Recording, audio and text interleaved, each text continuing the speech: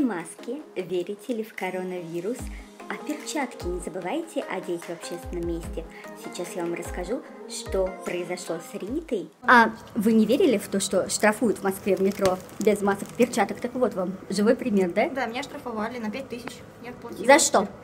А, ну, я упала в обморок метро, потому что я иногда падаю в обмороке, потому что я очень устаю. Вот. И у меня съехала маска на бок, э, вот так, как-то так. Вот. И тут ходят бравые ребята и хватают меня под руки, тащат из вагона. Вот.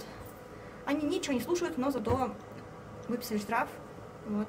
Долго мариновали. Сколько штраф? 5 тысяч рублей. И в течение какого времени заплатить? В течение 60 дней.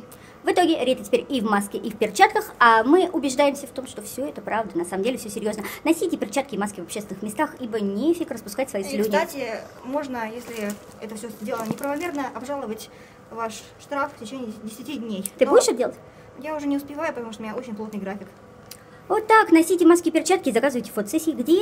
В Live Dream Studio, да? Да, потому что у нас самая лучшая фотосессия. Пока-пока. Носите маски, ибо штрафуют. Всем добра.